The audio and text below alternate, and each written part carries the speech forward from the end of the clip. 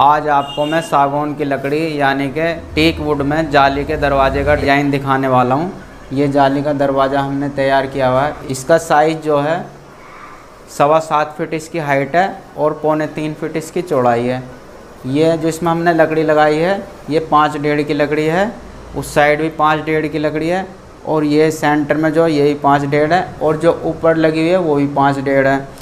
और जो हमने नीचे लकड़ी लगाई है, नीचे थोड़ी चौड़ी लकड़ी लगती है, इससे नीचे से दरवाज़ा मज़बूत हो जाए, ये सात डेढ़ की लकड़ी है। और जो इसमें हमने बीच में डिज़ाइन भरा है, ये जो हमने साइड में बिल्डिंग लगाई है, ये हमने इसी का डिज़ाइन बनवाया है, गोला ग्रुप इसको बोलते हैं। ये तीन इंची की लकड़ी में हमने तैयार कराया हुआ है और ऊपर जो हमने ये डिज़ाइन देख रहे हो आप, गुलाई में जा रहा है, इसको मेहराब बोलते हैं। ये डेढ़ सौ रुपये में तैयार हुई थी ये जो बिडिंग और जो इसमें जाल में डिज़ाइन भरा हुआ है, ये हमने बारह रुपये रनिंग फिट में तैयार कराया हुआ है। इसमें ऊपर हमने छः खाने बनाए हैं और नीचे हमने चार खाने बनाए हैं। मैं खाने का मेज़रमेंट ही बता देता हूँ आपको, जो इसमें ये ऊपर का हमारा पूरा खाना है, ये हमारा 24 और हाइट में उनतालीस इंची है और जो नीचे का है, ऐसे ये 24 इंची है और हाइट में बत्तीस इंची है और जो ये खाने ये ऊपर के जो बन के आए हैं, इसका स्पेस भी मैं आपको बता देता हूँ। इसका जो स्पेस है, ये साढ़े नौ इंची ऐसा है और साढ़े दस हाइट में है। और जो नीचे का स्पेस है, वो साढ़े नौ सेम ऐसी है और हाइट में चौदह इंची है। इसमें हमने डबल जाली लगाई है। फ्रंट पर हमने स्टील की जाली लगाई है और बैक साइड में हमने एलमिनियम की बर्फ़ी डिज़ाइन वाली जाली लगाई है। बैक साइड से मैं आपको दिखा देता हूँ।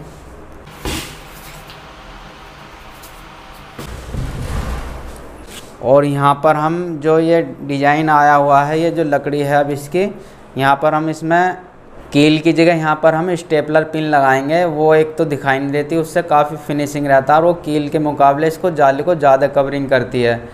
इसकी वीडियो मैं आपको ऊपर आई बटन पर भी दे दूँगा और अभी मैं आपको आगे दिखा भी दूँगा कि कैसे लगाते हैं।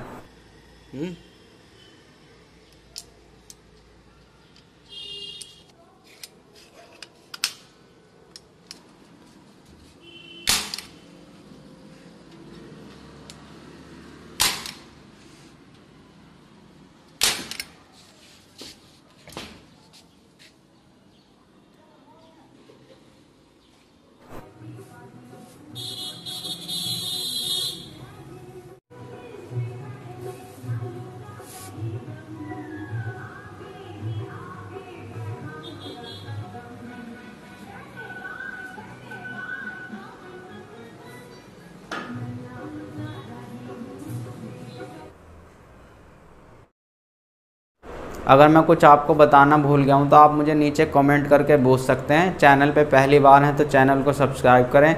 इसी तरह की वीडियो मैं आपको समय समय पर आता रहूँगा आपके लिए। और नोटिफिकेशन बेल पर जाकर आल पर क्लिक करें, जिससे आने वाली वीडियो की नोटिफिकेशन आपको जल्दी से मिले।